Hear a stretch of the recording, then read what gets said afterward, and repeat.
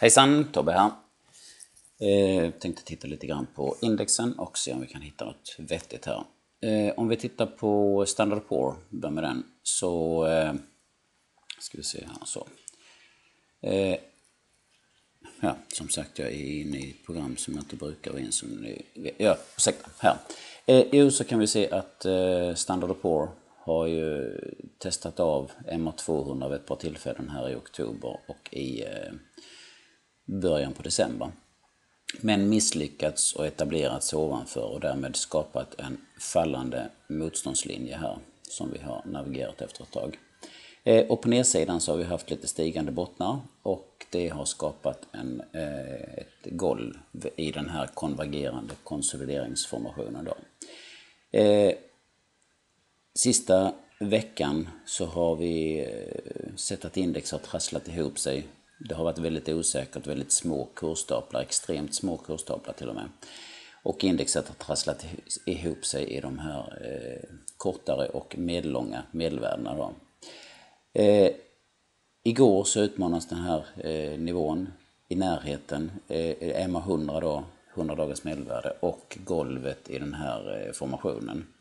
Eh, samtidigt så fick vi en hel del positiv statistik om eh, mer husbyggande och en spansk eh, eh, växelemission som blev väldigt lyckad och övertecknad till lägre ränta än vad det var i november.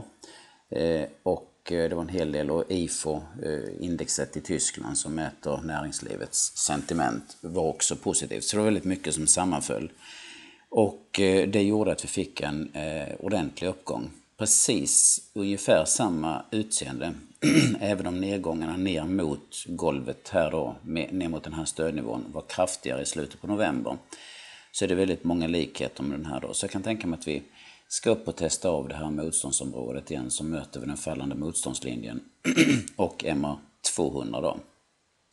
Skulle den nivån tas ut så bevakar jag eh, nivån strax under 1300 här då och där även taket i den här eh, medellånga kanalen möter upp. Eh, vi kan se att vi har fått stigande bottnar i eh, dagsmo när det gäller dagsmomentum och att vi har passerat upp över 50-nivån här på RSI 14.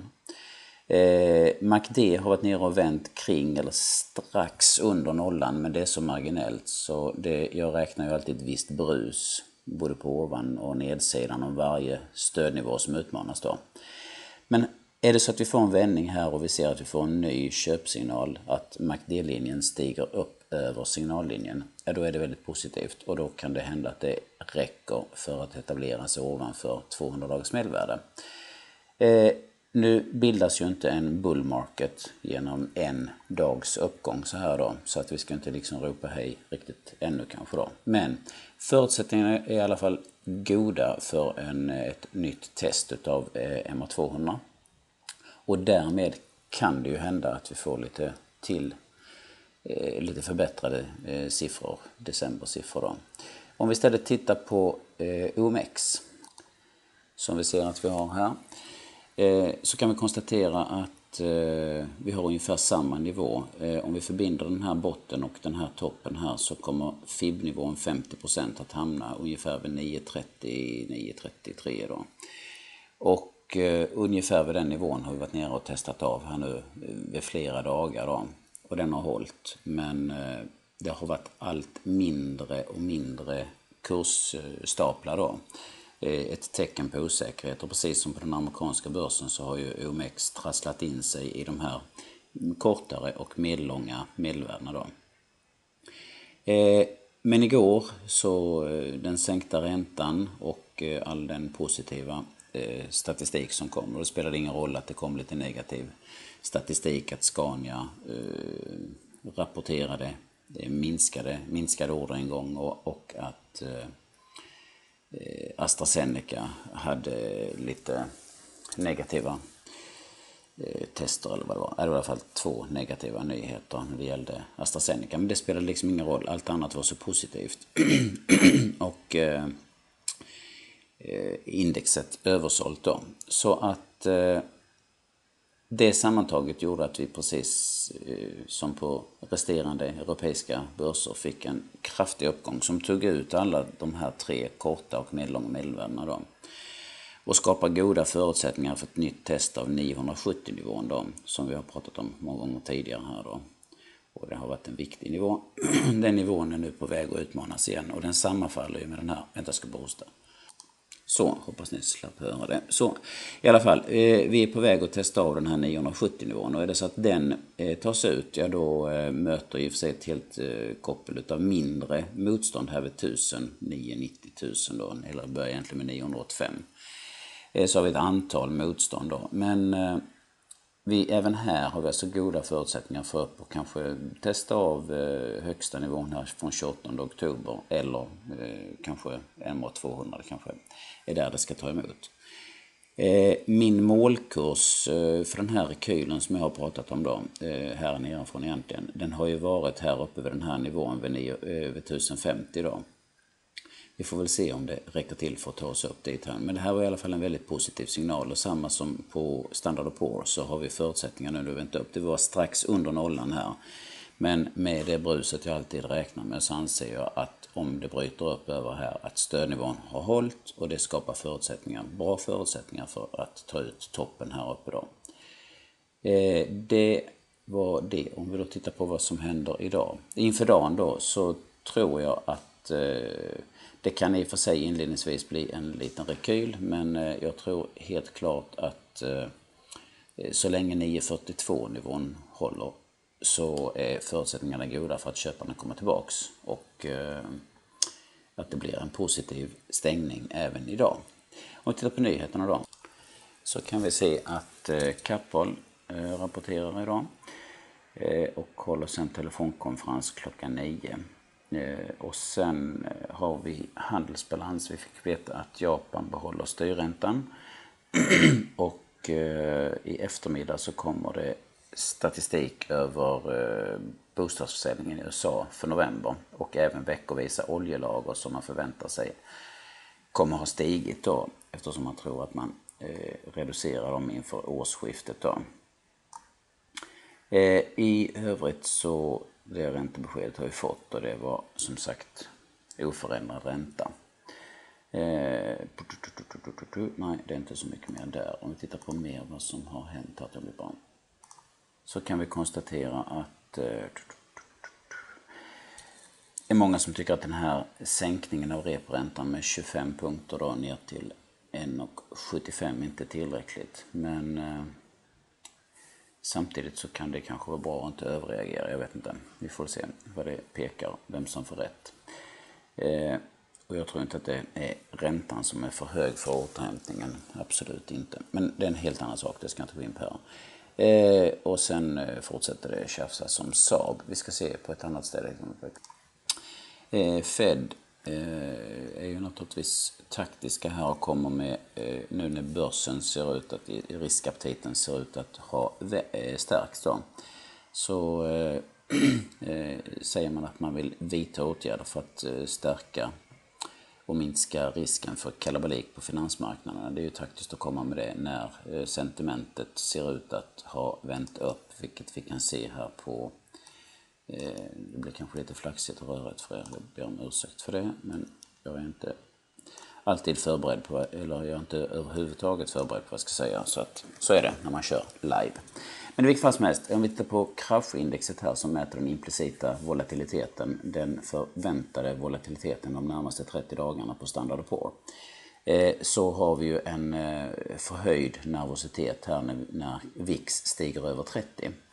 Eh, det som är väldigt positivt för tillfället nu då, det är att VIX har fallit ner. Vi ser att eh, MA50 närmar sig MA200. Är det så att vi får ett golden cross här, eller det blir, blir ett omvänt, det blir egentligen ett dödskors, men eftersom det påverkar börsen på andra hållet så anser jag att det är positivt.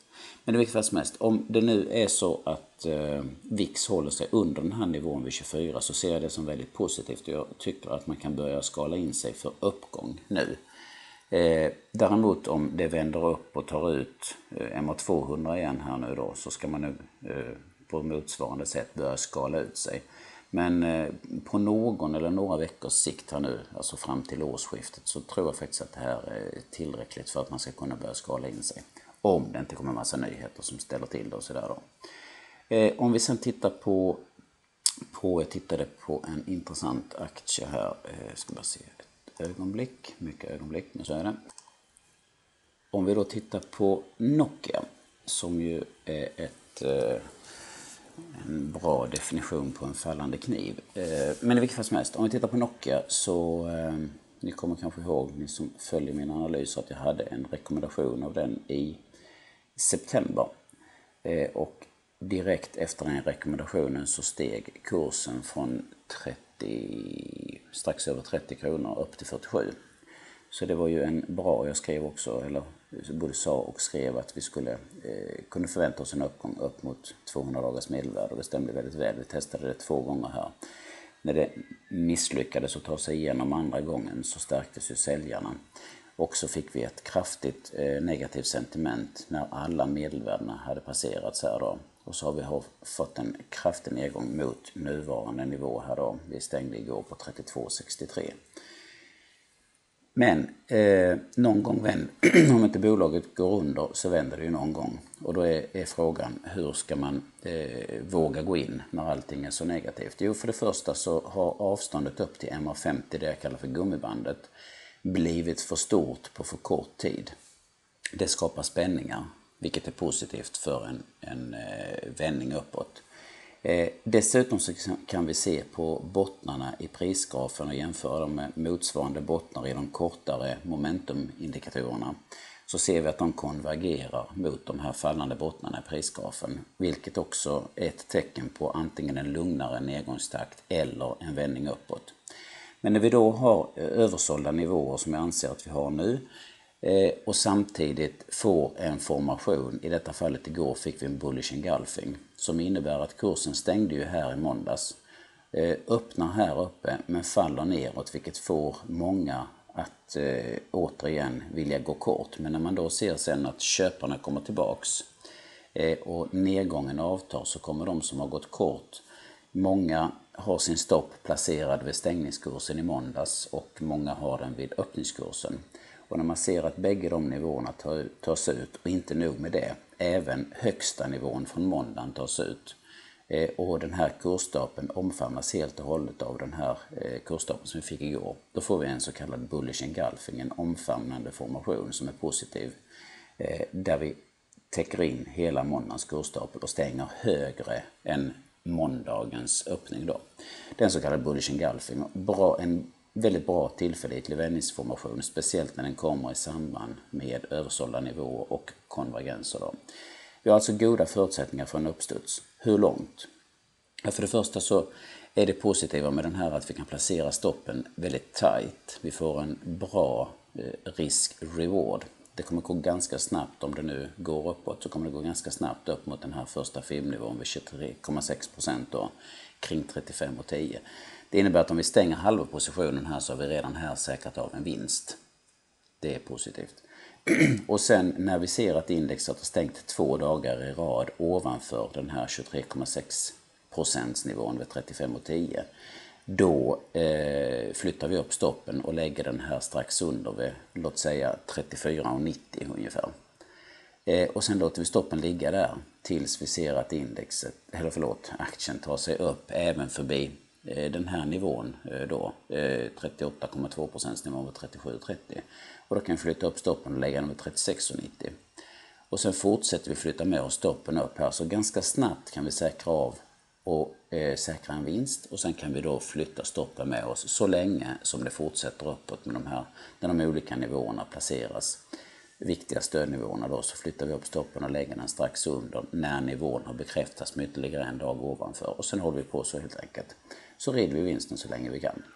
Det var allt jag hade för nu. Nu måste jag göra färdigt mitt eget. Ha en fantastiskt bra dag. Hej!